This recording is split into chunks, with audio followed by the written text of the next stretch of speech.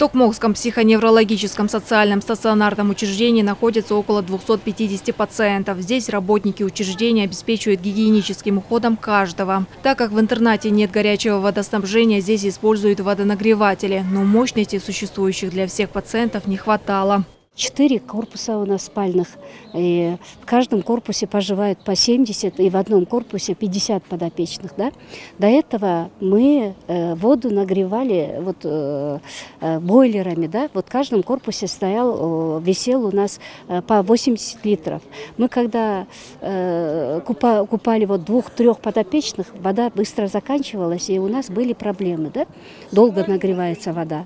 Э, вот нам нужны были солнечные коллекторы. У нас теперь бесперебойная горячая вода. На сегодняшний день в интернате установили 6 солнечных коллекторов. Один на одну тонну, три по 750 литров и две солнечных водонагревателя по 250 литров. Как вы видели, на крыше корпусов установлены солнечные батареи. Именно они и обеспечивают энергией для разогрева воды. Например, этот коллектор для того, чтобы разогреть тонну воды. Он на 98% использует энергию солнца и 2% электроэнергии использует насос для того, чтобы наполнить емкость.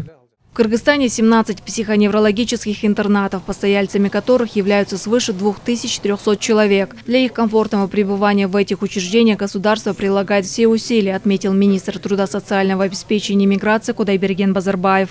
И здесь тоже вот указом президента Кыргызской республики э, норма питания была увеличена на 100%.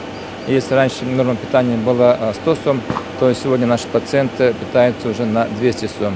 То есть у них э, в разы улучшается качество жизни наших пациентов. Как отметили специалисты, солнечные коллекторы – это движущая сила зеленой экономики, поэтому в перспективе планируют установить их в других социальных учреждениях, где наблюдаются проблемы с горячим водоснабжением. Айзеля Какматова, Центр Абикеев, Алато, 24.